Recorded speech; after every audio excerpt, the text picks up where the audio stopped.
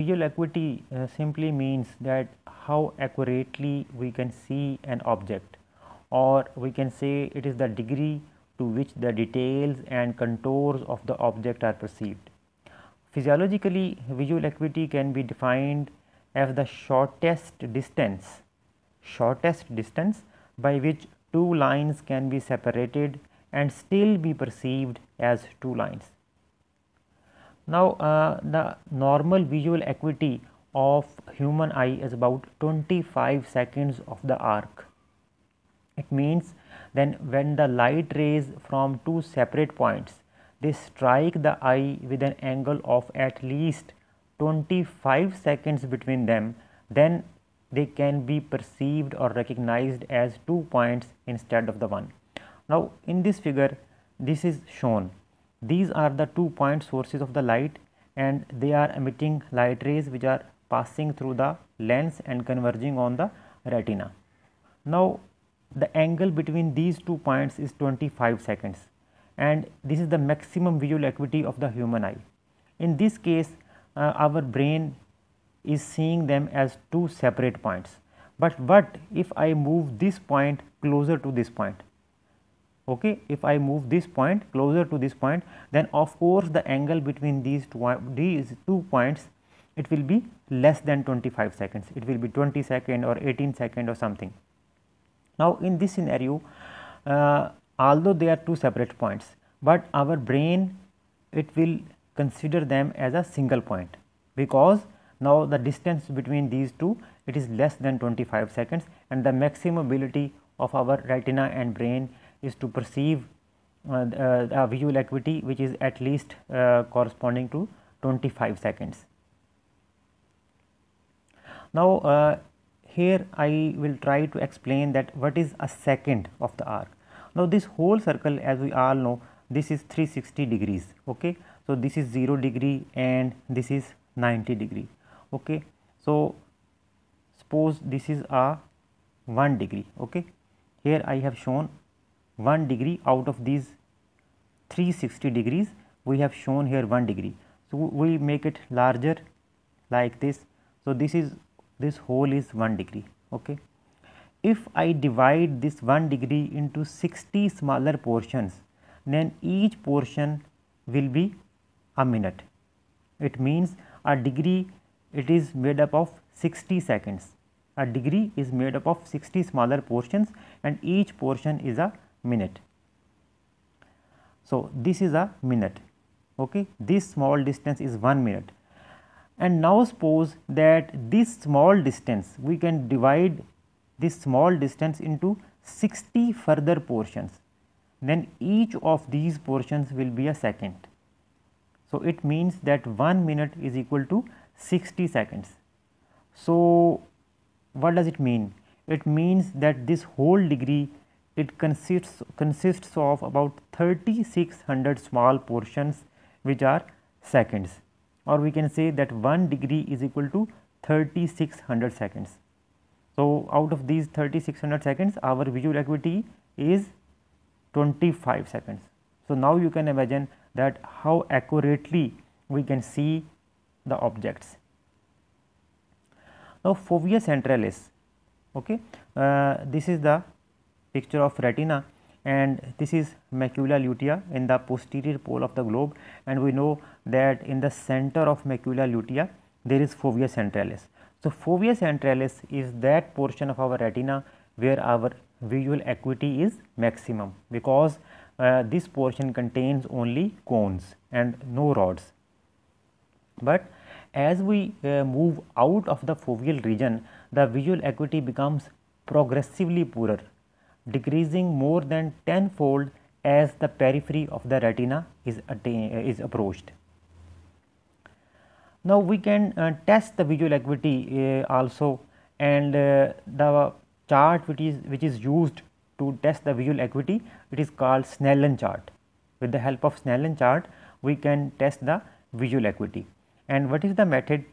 Uh, in this we uh, make the subject sit at a distance of about 6 meters or 20 feet from the Snellen chart and then the subject whose visual acuity we are uh, testing right now. The subject or the person he reads the smallest line which he can okay? And then the results are usually expressed in the form of a fraction like this okay, visual acuity is equal to subject over normal.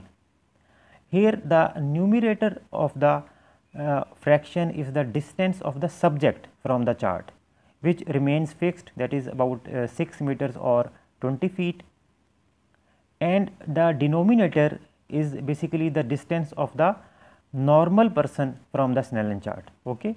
So, we can say that it is the greatest distance from the chart at which a normal person can read the smallest line. I explain this in this figure. Now, this is a typical Snellen chart as you can see in this figure this is the typical Snellen chart. So, if a subject uh, he reads only this letter T and he cannot read the rest of the chart then it means that the visual acuity of the subject according to this formula is 6 by 60 because this letter this line corresponds to 60. Similarly, if another person he can read this line and this line also. He can read the letters V and H. Then his visual acuity as is written here it will be 6 by 36 and 6 by 36 means that the subject is reading this line at the distance of 6 meters while a normal person can read the same line at the distance of 36 meters. Similarly, a subject who can read up to this line V U A X T his visual acuity will be 6 by 12 and at this level of vision many social activities are possible. Please remember that the normal visual acuity is 6 by 6 and a person having having 6 by 6 visual acuity he must reach this second second last line y u x t h a o v. So, if a subject can read this line then his visual acuity is 6 by 6 or quite normal.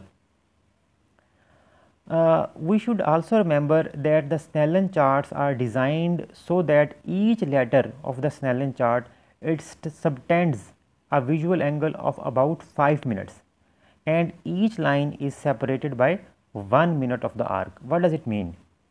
Uh, so, what do you think will be the maximum visual acuity which we can check by Snellen chart? Will it be in seconds? Yes, of course no the maximum visual acuity which can be tested by Snellen chart is 1 minute.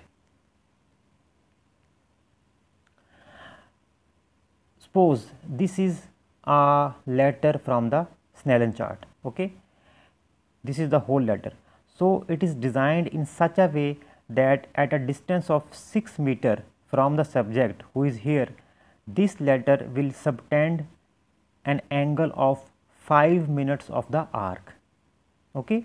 And this letter is designed in such a way that each of its limb it makes an angle of 1 minute. Okay? So first limb of this letter e it is making an angle of 1 minute. Then the space between its two limbs here and here it is again an angle of 1 minute then there is this limb this is also again an angle of 1 minute then the space again between this limb and this limb this is making making an angle of 1 minute and the last limb is also again of 1 minute. So, this whole thing then 1 2 3 4 5. So, this whole letter is making an angle of 5 minutes of arc on the subject side. Please note that visual acuity is a complex phenomenon and it is influenced by a variety of factors like optical factors, for example, the state of the image forming mechanisms of the eye. Then there are retinal factors, for example, the state of the cones. And lastly, there are stimulus factors which are also very important that is illumination, brightness of the stimulus, uh, brightness of the stimulus, the contrast between the stimulus and the background.